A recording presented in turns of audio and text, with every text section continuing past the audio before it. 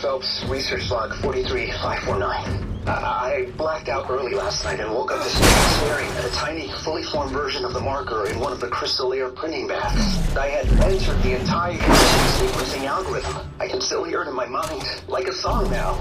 I know the dementia suppressors are working, but this is something entirely different.